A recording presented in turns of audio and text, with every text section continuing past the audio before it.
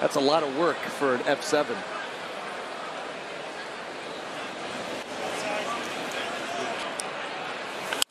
There's a shot back into deep left. That ball is going to be off the top of the wall and in play is the ruling, and it's going to be a long single. And Kevin Cash will at the very light conversation about that. The umpire ball hit. That's supposed to be away. See where they're set up, but that ball's in. Paredes turns on it, and let's see where it ends up. That ball gets powdered pretty good.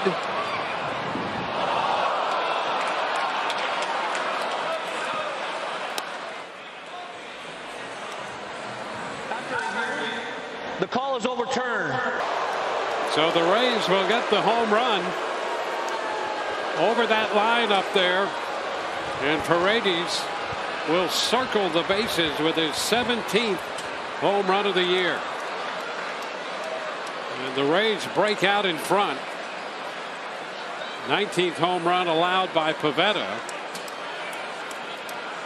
A couple more looks. Yep, let's see. You see the brown line, and yeah, right there, right off that padding. Pretty clear when you are able to hone in on it. So the Rays out in front on the home run.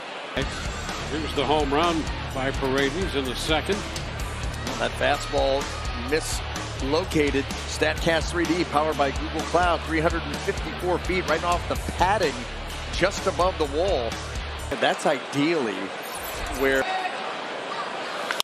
And there's a high shot deep into left center field, and that baby's going to get out of here.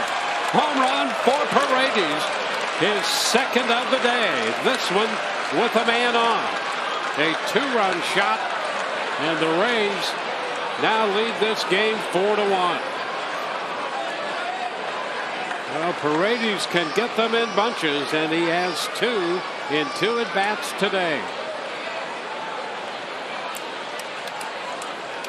Randy Arozarena and Isaac Paredes, another fastball that is not located well, not up enough. And I think what they were saying, Dewayne, with their hand machinations was that Isaac Paredes put that ball to sleep.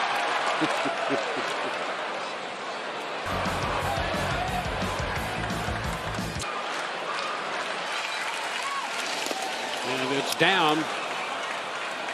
So he walks him, and the bases are loaded for Walls. Jam shot right there with the roller to Paredes. We got the pitch in on Verdugo. Just was pulled a little too far.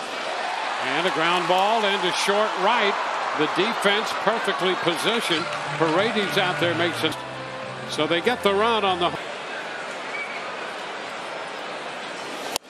And ball four is inside. And the Rays again have the bases loaded.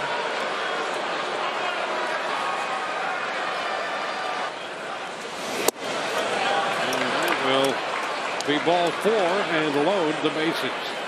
So